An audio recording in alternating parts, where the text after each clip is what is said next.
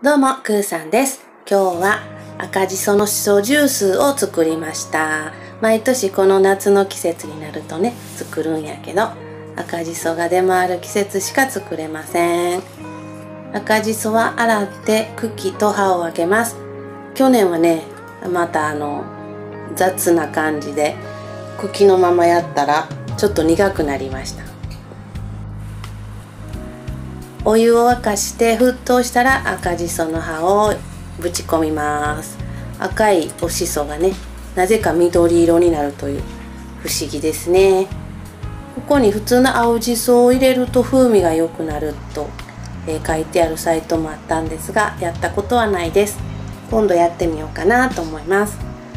沸騰したら冷ましてこします。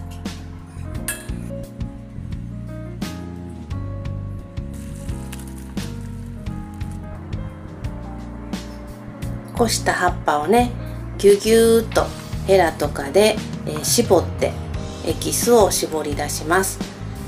本当にこのしそジュースはもう見た目の色もそうやねんけど飲んでも美味しいし本当に美容とか健康にいい成分がいっぱいなんでぜひみんな飲んでみてください。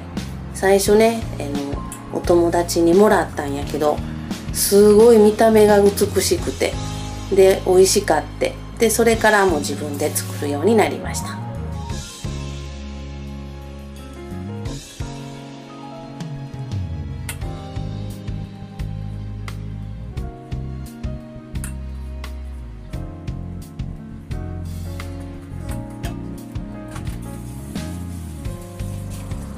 しっかりこしたらまた鍋に戻して、えー今度はお砂糖やお酢を入れていきます。今回ねほんまはおしそ 300g やねんけどしそも要素あるしちょっと倍にして作りました。せやけど砂糖がね 300g しかなかったからちょっと甘さ控えめなジュースになるはずです。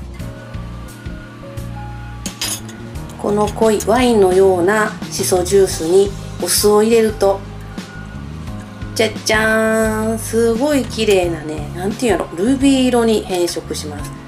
すごい化学反応。料理ってほんま科学やわ。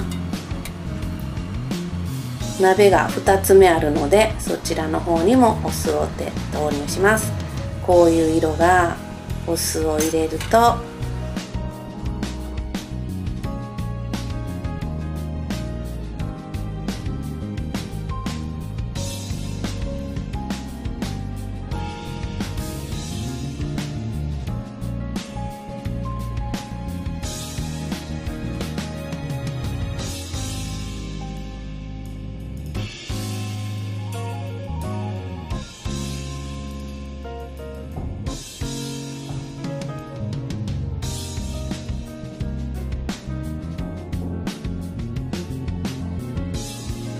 みるみるうちに色が変わってルビー色こんなに色が違うんですね。お酢の力クエン酸とかレレモン汁でもいいそうです。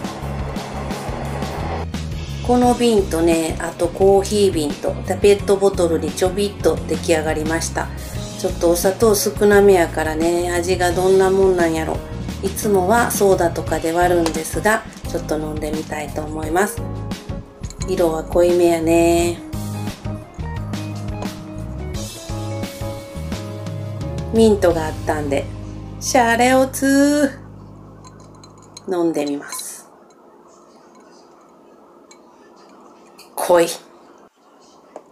なのでちょっとお水を足したら色も色も綺麗になってお味もちょうど良くなりましたさっぱりしばらくの間ねこのしそジュースで元気もりもり頑張りたいと思います。